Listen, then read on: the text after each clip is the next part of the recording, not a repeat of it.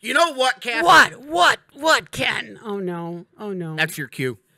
What can? Oh, the oh dear me! The opinions that are about to be put forth by our illustrious leader here are not the opinions of everybody in Westfield, the studio, WCPC, Westfield State College, or Peter, who is on vacation.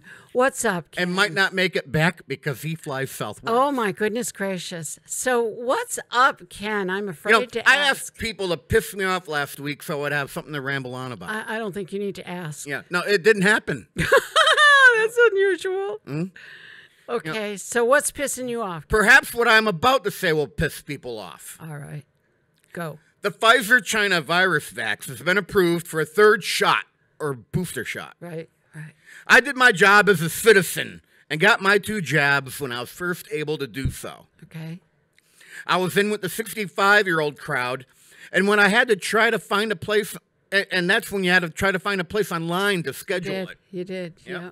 You know, a few months after that, saw improved distribution of the vax. Mm-hmm. You could get one just by walking into your nearest drugstore. Yeah, There were drive up and walk in clinics. Mm-hmm. Getting a jab was super made super easy, and now here we are. Again. Our area has one of the lowest percentage of vaxxed citizens. Ah. and the infection numbers show that way more than 50% of the people who have contracted the China virus in the past few months have been unvaccinated. Yeah, you're right. You're right.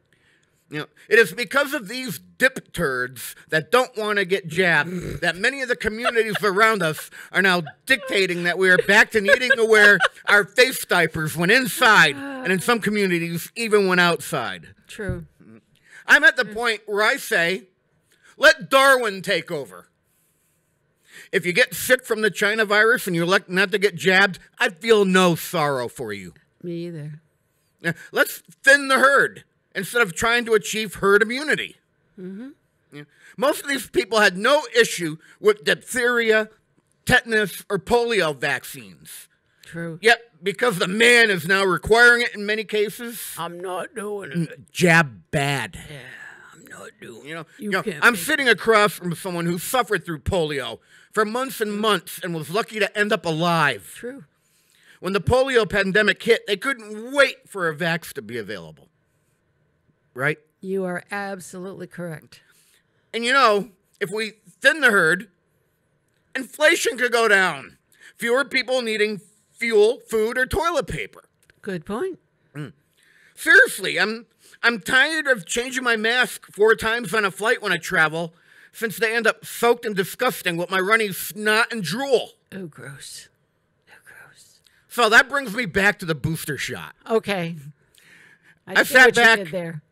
I sat back and watched as the government begged people to get jabbed. Mm-hmm. Mm-hmm. And I see people getting sandwiches and treats for getting their shots. I did the right thing when I was supposed to and got butt kits.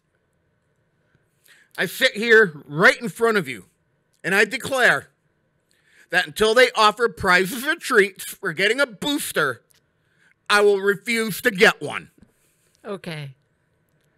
And if that doesn't piss you off, for good measure, in order to piss you off, the Red Sox, the Bruins, the Celtics, and the Patriots all suck. Oh, oh, I, I can't believe you said that. I can't believe you said that.